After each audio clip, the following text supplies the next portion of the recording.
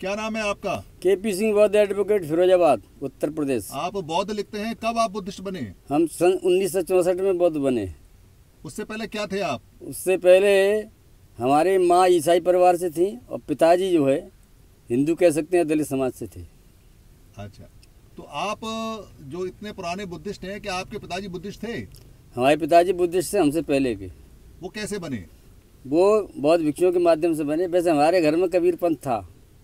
कबीर पंथ था। इसका मतलब आप कबीर पंथी रहे हैं। पहले रहे लेकिन भ्रंतानंद कौशल्यान जी के आने के बाद हमारा परिवार बुद्धिस्ट हो गया। फिरोजाबाद में बताते हैं कि बाबा साहब की क्रांति वहाँ स्टार्ट हुई। किस तरह से हुई वहाँ? बाबा साहब की क्रांति हमारे यहाँ एक सत्यवीर सिंह जटिया थे उनके माध्यम से हुई। और बहुत सारे लोग हमारे यहाँ फिरोजाबाद में रहे जिन्होंने बाबा साहब के मूवमेंट को बहुत आगे चलाया। वो मूवमेंट राजनीतिक ही नहीं था वो सामाजिक मूवमेंट था। जिसके माध्यम से बाबा साहब की चिंतनधारा बहुत आगे बढ़ी। धम्म में आपको क्या फ़ायदा हुआ? धम्म में सबसे बड़ा फ़ायदा है कि धम्म में एक जातवीन मानसिकता तैयार क्या होती फ़ायदा हुआ? हमको व्यक्तिगत ये फ़ायदा हुआ कि हम लोग बौद्ध धर्म में आने के बाद सभी प्रकार के आडम्बरों से छूट गए सभी प्रकार के कुरीतियों से छूट गए और हमारा एक ही लक्ष्य रहा है कि बाबा क्या हुआ आपको? आर्थिक फ़ायदा ये रहा कि हम लोग स्वावलंबी बने हमारा अपना बिज़नेस था। सामाजिक फ़ायदा? सामाजिक फ़ायदा ये है कि हम लोग स्वाभिमानी और स्वावलंबी बने। राजनीतिक फ़ायदा? राजनीतिक फ़ायदा तो ये है कि जो अंबेडकर मूवमेंट चलाने वाले राजनीतिक दल थे उनके साथ ही हम थे। तो आपको तीन फ़ायदे हुए। हाँ। अभी जो आप ये बड़ा कार्यक्रम लगा रहे हैं 24 नवंबर 25 नवंबर 26 नवंबर 2019 में जिसमें आप लगभग छह सात लाख रुपए खर्च करने वाले हैं तीन दिन तक लगातार और पूरे देश में दौड़ रहे हैं और दिल्ली में भी आए हुए हैं। जी हाँ। इस कार्यक्रम का उद्देश्य क्या है? इस कार्यक्रम का मूल उद्देश्य है बौद्ध धर्म बौद्ध समाज का विकास करना। और उसमें भी लक्ष्य ये है कि बौद्ध धर्म बौद्ध भिक्षु बुद्ध विहार और बौद्ध समाज के निर्माण में जितने भी व्यवधान आ रहे हैं उनके समाधान ढूंढना। और इस इस सेमिनार के माध्यम से बौद्धों में जो विकृतियाँ हैं जैसे ये कानूनी विकृतियाँ है कि संविधान की धारा 25 दो खा के अंतर्गत जो बौद्धों को हिंदू लॉ से गवर्न किया जाता है उस संबंध में भी इस सेमिनार में विचार विमर्श होगा। भगवान बुद्ध ने बौद्ध धर्म बनाया था।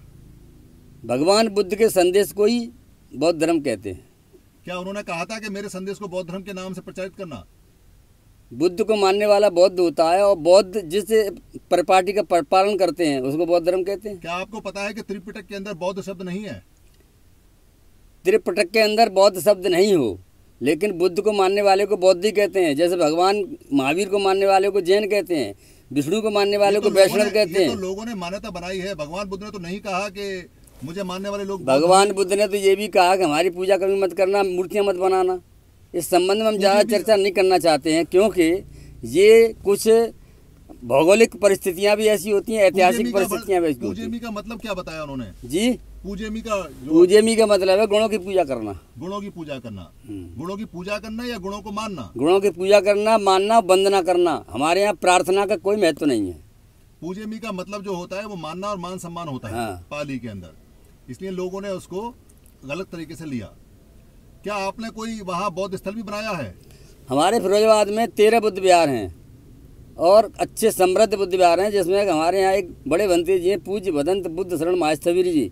जो इस समय इक्यानवे साल के हैं उन्होंने बहुत अच्छा धर्म समझाया है सिखाया है और लोगों को परमार्जित रूप से बुद्ध बौद्ध बनाने की कोशिश की है। क्या आपने कोई राष्ट्रीय लेवल पे कोई संस्था बनाई हुई है जो सारे देश के बुद्ध एक हों और एक कार्यक्रम लगे? संस्था जुड़े हुए हैं? संस्था तो हमने बहुत हमने भी काफ़ी संस्थाओं में काम किया है। सबसे पहले हमने जब हम सन पैंसठ छियासठ में थे तो अंबेडकर अनुयायी परिषद चलाई थी।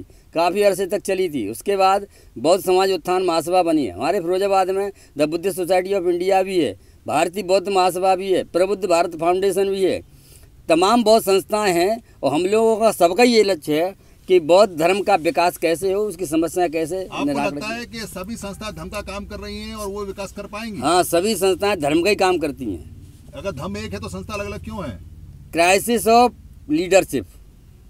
धर्म में भी लीडरशिप होता है क्या? ऐसा होता है धर्म में लीडरशिप इसलिए आई है कि जब से लोग राजनीतिक रूप से परिपक्व हुए हैं एक चेतना उनमें ऐसी जगी है कि हमारा भी नेतृत्व होना चाहिए। हालाँकि crisis of crisis of ideology नहीं है। तो खुद अपना नेतृत्व खुद करता है। धर्म का नेतृत्व करने के लिए तो हमारे यहाँ भिक्षु संघ है। नहीं नहीं धर्म का नेतृत्व धर्म ही करता है। बुद्ध ने बताया है कि मेरे बाद जो संघ का नेतृत्व करेगा वो धर्म करेगा। भिक्षुओं का नेतृत्व भी धर्म करता है। तो फिर इतनी सारी संस्थाएँ नेतृत्व के लिए हैं, कभी आपने इसके लिए आवाज़ नहीं उठाई कि भाई इसका धम इसका जो नेतृत्व है धम करेगा और व्यक्ति नहीं करेगा। व्यक्ति प्रधान नहीं है धम में, चाहे वो भिक्खु संघ है।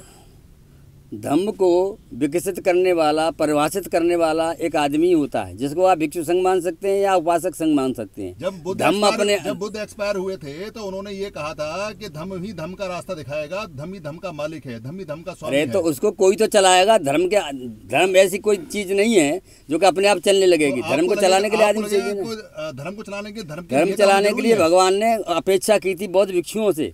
और बौद्ध भिक्षुओं के संघ से अपेक्षा की थी। और जो श्रावक संघ। था। उससे अपेक्षा की थी। बुद्ध के जितने भी उपदेश हैं विशेष तौर पर भिक्षुओं के लिए हैं। जब उन्होंने ये कहा चरित भिक्कवे चारकंग भोजन नेता भोजन सुखाय लोकानुकंपा अत्ता देश धम्म देश भिक्कवे आदि कल्याण मध्य कल्याण पर्यवसान कल्याण। ये किससे कहा उन्होंने? भिक्षुओं से। कहा। और भिक्षुओं की ज़िम्मेदारी थी कि भगवान ने जो धम्म सिखाया धम्म बताया उसको आपको वो भिक्खुओं को साथ करके एक एक संघ बनाने के लिए काम करना चाहिए या अलग अलग नेता या अलग अलग जो लोग बने हुए हैं उनको धम में आना चाहिए? भिक्षु संघ एक ही है और उसमें तो, संघभेद नहीं होना चाहिए। हालाँकि उसमें भी तो हो गया। है भारत में। नहीं मैं कह रहा हूँ संघभेद नहीं होना चाहिए था लेकिन तो अखिल भारतीय उपासक की क्या ज़िम्मेदारी है अगर भिक्खु संघ भेद करता है तो? हम लोग भिक्षुओं के मामले में हस्तक्षेप नहीं करते। क्यों नहीं कर सकते? सम्राट अशोक ने नहीं किया क्या? सम्राट अशोक ने भी नहीं किया। किया सम्राट अशोक ने चीवर उतरवाए थे जितने सारे भिक्खु संघ थे इतने सारे बहत्तर भिक्खु संघ थे सबके चीवर उतरवाए जो और एक भिक्खु संघ बनाया उन्होंने। वो सम्राट अशोक ने नहीं किया था वो काम मोगल पुत्र से ने किया था गुप्त उपगुप्त ने किया था। करवाया किसने था? उनने भी किसने बुलाई? अशोक का इसमें कोई लक्ष्य नहीं था करने का। लेकिन जब उन्होंने मोगल पुत्र से ने ये देखा कि बहुत सारे लोग धर्म से विमुख होकर ऐसा काम अशोक ने देखा तो उन्होंने मुगल पुत्र से कहा कि आप एक सभा बुलाइए और उनसे सवाल जवाब कीजिए और जिसके सवाल जवाब ठीक नहीं धर्म के अनुसार है उनके जीवन में उतरवाऊँगा। मुगल ने पुत्र से नहीं उतारे भिक्खु नहीं उतारता भिक्खु के राजा ने उतरवाए थे। राजा- उपासक का बिल्कुल सिद्धांत है कि अगर भिक्खु अपने भिक्खु के नियम पे नहीं चलता विनय पे नहीं चलता तो उपासक उसको मानदंड दे देने के लिए मना कर दे और कह दे कि भिक्खु आप विनय पे नहीं चल रहे हैं। क्या आपने ऐसा कोई प्रयास किया या आँख बंद करके जैसे और जी के भक्ति होते हैं ऐसी भक्ति की आपने? हमारे यहाँ एक अलग से इसका कारण है। बौद्धों को सील संपन्न और नीतिवान बनाने के लिए जो भी हमारे यहाँ नित्यनात्म दुख की चिंतन धारा है, हमारा नाम और रूप की चिंतन धारा है, इस सब पर पूरा प्रयास किया जाता है कि लोग धर्म को सीखें, जानें और तब मानें। हमारे यहाँ कहा गया है यही पश्च को उपनय को पंचन तंग तब वो बिंजुहित इस धर्म को देखो, फर्को, समझो, तब जानो तब मानो। तो हमारे यहाँ एक मानना है कि मानना अलग होता है जानना अलग होता है। तो हमारा भी यही प्रयास है भिक्षु संघ के माध्यम से कि हम धर्म को पहले सीखें जानें उसके बाद मानें। आप सीखोगे किससे? जो सिखाने वाला ही ट्रेंड नहीं है तो अब तो तमाम साहित्य ऐसा है कि साहित्य के माध्यम से भी आदमी सीख सकता है। जो भिक्षुओं के माध्यम से भी सीख ज़्यादा जानता है और भिक्षु संघ ज़्यादा नहीं जानता है उस स्थिति में उपासक को क्या करना चाहिए? उपासक जितना जानता है उसको उतना बताना ही चाहिए। उपासक को भिक्खु की भूमिका में आना चाहिए? ये आवश्यक भी नहीं है और आवश्यक भी है। चलिए ठीक है कार्यक्रम की आपको शुभकामनाएँ धन्यवाद। Thank you